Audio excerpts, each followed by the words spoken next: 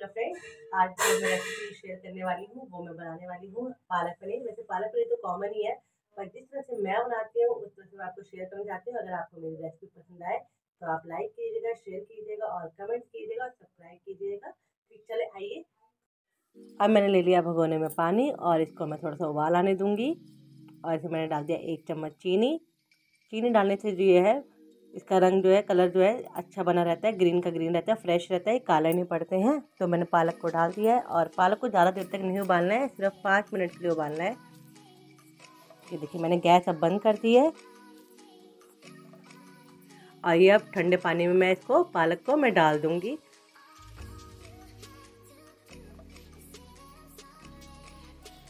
अब इसको मैं मिक्सी जार में इसको डाल दूँगी। मिक्सी जार में डालने के साथ ही साथ मैं इसमें डाल दूँगी धनिया थोड़ी सी और दो हरी मिर्च डाल दिए मैंने। और इसको मैं अच्छा से एक पेस्ट बना लूँगी। धनिया डालने से जो है इसका जो कलर है बहुत अच्छा रहता है और टेस्ट में भी बहुत अच्छा आता है इसका।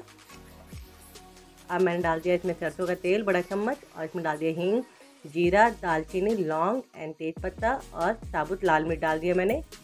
थोड़ा सा इसको पकने दूँगी और इसमें लहसुन, अदरक और ये हरी मिर्च। पहले मैं लहसुन को डालूँगी, थोड़ा सा ये ब्राउन हो जाए, फिर अदरक भी साथ साथ डाल दूँगी और हरी मिर्च भी डाल दूँगी। थोड़ा सा इसको मैं धीमे आँच में इसको मैं पकाऊँगी अब।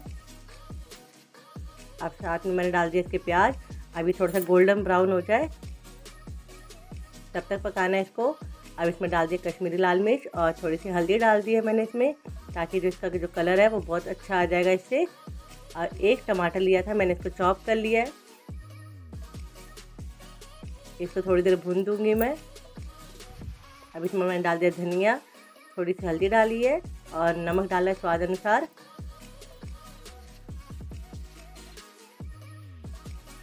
अब मैं इसको पाँच मिनट के लिए ढक दूँगी। ये देखिए इसमें थोड़ा तेल छोड़ दिया है। अब इसमें डाली मैं कस्तूरी मेथी। कस्तूरी मेथी से जो है, उसका स्वाद जो है बहुत ही अच्छा आता है। और जो ढाबे वाले हैं, वो मोस्टली कस्तूरी मेथी ज़रूर डालते हैं सब्ज़ी में। तो मैं भी कस्तूरी मेथी ज़रूर डालती हूँ। अब इसमें दो बड़े चम्मच मैंने डाल दिया दही। दही खट्टी नहीं डालनी है, बिल्कुल फ्रेश डालनी है, मीठी होनी चाहिए।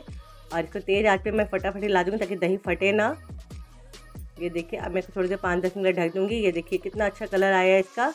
देखिए तो जो तेल है, वो सेपरेट हो गया है। अब ये जो मैंने मिक्सी में पीसा था, पालक का जो पेस्ट था, वो मैं इसके अंदर डाल दूँगी अब। अब इसको धीमी आँच में मैं पकाऊँगी थोड़ी देर। थोड़ी देर ढक दिया मैंने इसको। और जो मिक्सी में जो मैंने पीसा था, उसी में मैंने थोड़ा सा हल्का सा गुनगुना पानी दिया है। वो मैंने डाला है करीब इसमें एक गिलास के करीब।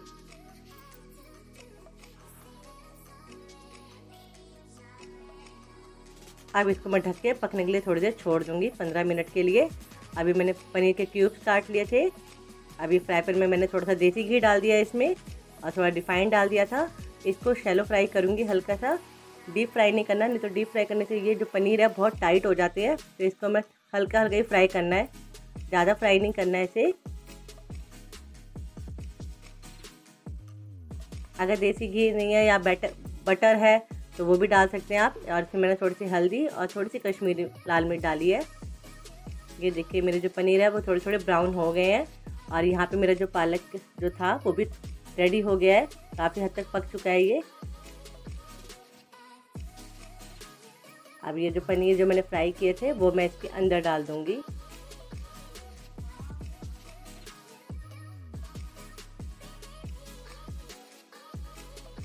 अब मैं इसके अंदर एक चम्मच के करीब मलाई डालूँगी।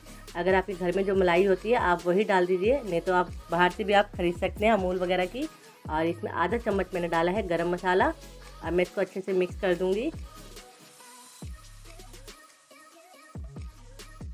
मिक्स करने के बाद इसको मैं 10 मिनट के लिए थोड़ी देर ढक दूँगी, ताकि जो इसका जो तेल है वो जो सेपरेट हो जाए।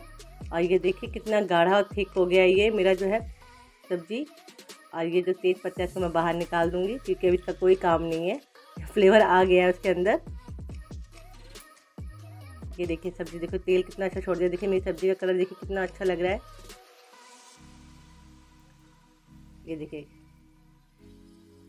आइए थोड़ा सा पनीर था, इसको मैं ऊपर से गार्निश कर लूँगी। ये देखिए मेरी सब्ज़ी हो गई है रेडी